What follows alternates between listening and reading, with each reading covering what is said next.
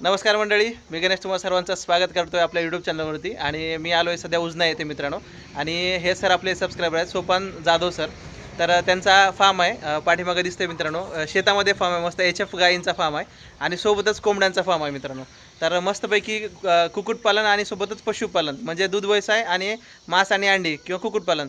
तर असा दुहेरी व्यवसाय ते करतात आणि शेतीला जोडधंदा म्हणून एकदम चांगलं आदर्श असं यांचं फार्म आहे मित्रांनो. अगोदर पण आपण आलो होतो इथे. आणि आत- आता पण सरांना आपण भेट दिली आहे. तर मस्तपैकी सरांचा फॉर्म बघूया. सरांकडून थोडीफार माहिती घेऊया. व्हिडिओमध्ये कंटिन्यू राहा. व्हिडिओ आवडल्यास नक्की लाईक शेअर आणि सबस्क्राईब करा. Thank you thanks for watching तर मंडळी किती गाई आहेत आपल्याकडं? दहा आहेत एच एफ ना?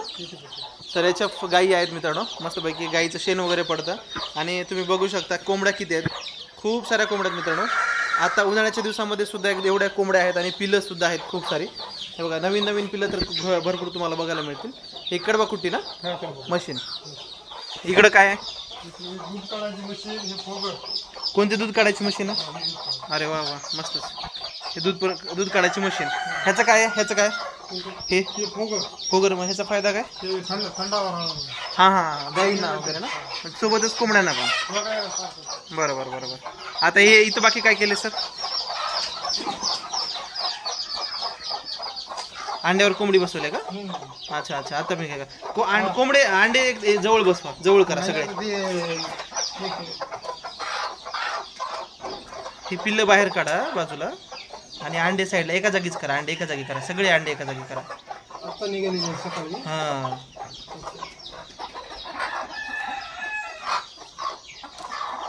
हम्म, आता सुरू झालं. अंड्यावर आता पण बसलो? हा. कंटिन्यू अंड्यावर असतात ना? पिल्ले काढणं. बरोबर. जी थकली आहे जी रोड झाले आता पिल्ल्यासोबत एक पन्नास एक पिल्ल्यासोबत बाहेर सोडून दिलं. बरोबर बरोबर. हिला उचला बघ. हिला हम्म, मस्तच. हो ना आबाळ हे ते आम्हाला काहीच दिलं नाही. हो का? सतत कंटिन्यू चालूच. कंटिन्यू हे मशीन प्रमाणात वापरता आहे कोंबड्या? हे ब्रुडिंग काय ते? हॅचिंग पाणी हे हॅचिंग प्रमाण हॅचिंग हॅचिंग फक्त नॅचरल हॅचिंग हा नॅचरल हॅचिंग तर मित्रांनो कंटिन्यू आता हे हेला दि- हिला कुंबडीला गेला किती किती दिवस झालं बसून? जसं अंडे मिळायचे उचला बरं उचला बरं.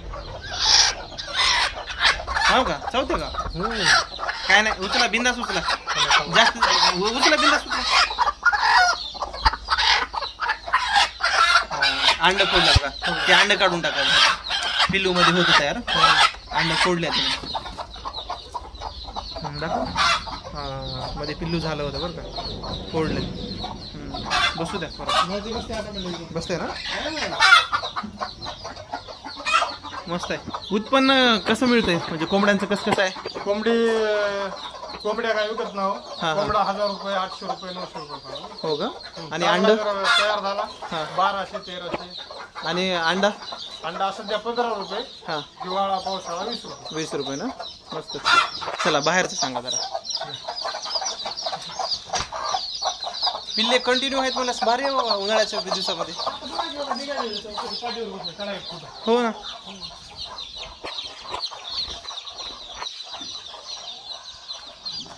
गायींचं कसं कसं आहे? एच एफ कुठून आल्यात गाया? हा, पंजाबहून आणलेले डायरेक्ट पंजाबूनच गाय आणल्यात अरे वा.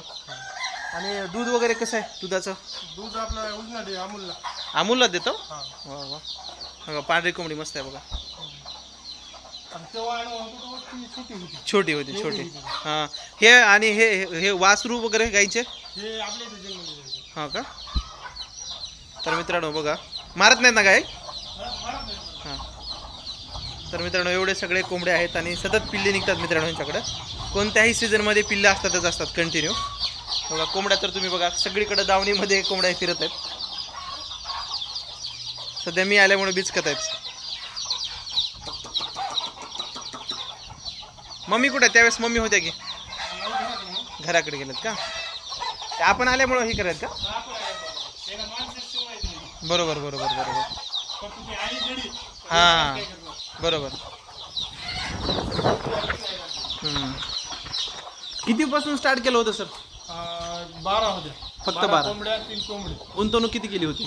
गुंतवणूक काय एक, पाच पाच हजार होतं. पाच हजार. आता पन्नास हजाराचा असेल. नाही नाही एक वेळेस पन्नास हजाराच्या विकल्या. हा. आता जवळपास एक लाख रुपयाच्या आहेत एक लाख रुपयाच्या कोंबड्या हा, हे बापरे. एक अं, मोठा स्टॉक आहे सत्तरचा हो का? त्याच्यानंतर पाच सहा महिन्याचे आहेत सत्तर ऐंशी. हां हां. आणि आता किल्ले आहेत दीड दोनशे. अरे बापरे.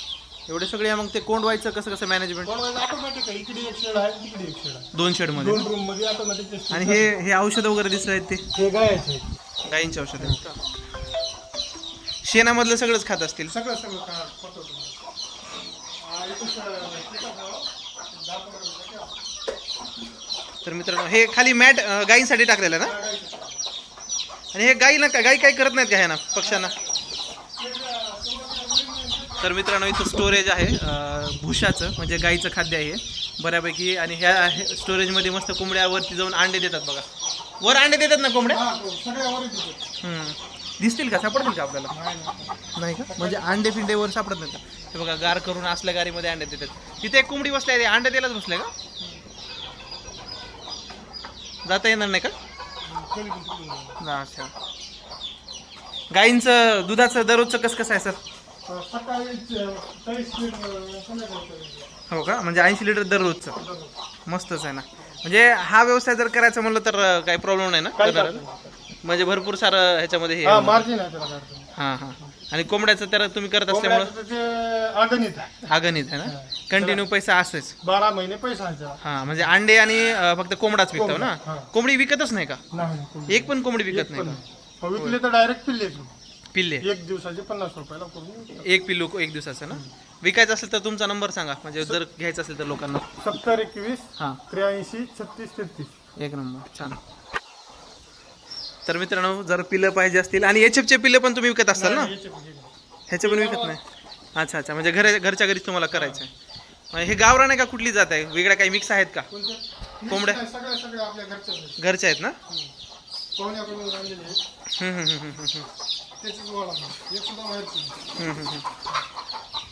बिचकल आलेत बऱ्यापैकी बघून. फिरतच राहायचं? सोडच. आता हिच्या मग किती पिल्ले आहेत? त्याच्यामध्ये कोंबड्याचे पन्नास होते. हां हां हां. मरीमध्ये वाचून आता तीस पस्तीस राहिले. एका कोंबडी मागे एवढे पिल्ले दिले हा, नाही नाही अं, दोन तीन कोंबड्याचे एकदाच. हो का? सांभाळता का म्हणजे सांभाळता का इकडे एक कोंबडी? ते पंधरा वीस राहिले का नाही हम्म, हम्म. चार पाचच मोठी मुलं हम्म. अंडे बी नाही उत्पन्न बी नाही काही बी नाही. हो ना हो ना हो ना. आता सगळे खाली बसलेत बाजूचे. तर मित्रांनो सुरुवातीला बारा कोंबड्यापासून त्यांनी कुक्कुटपालन चालू केले आणि सोबतच जोडधंदा म्हणून एच एफ गाईंचं पालन केलेलं आहे जे दुग्ध व्यवसाय म- मध्ये येतं मित्रांनो. आणि इकडे कोंबडी व्यवसाय. तर आशा करतो तुम्हाला हा व्हिडिओ आवडला असेल. महिन्याकाठी ते किती कमवतात आणि वर्षाकाठी ते किती कमवतात? त्यात कोंबडी पालनातून किती आणि दूध व्यवसायातून किती? तर ह्या सगळ्या गोष्टींचं एकदम डिटेलमध्ये माहिती पुढच्या व्हिडिओमध्ये म्हणजेच भाग दोनमध्ये तुम्हाला व्यवस्थित प्रकारे पाहायला मिळेल मित्रांनो. आणि हा एक व्हिडिओ तुमच्यासाठी खास शूट केला होता. जर या व्हिडिओमधून तुम्हाला काही गोष्टी आवडल्या असतील तर नक्की व्हिडिओला लाईक करा शेअर करा आणि सबस्क्राईब करा. Thank you. Thanks for watching. धन्यवाद.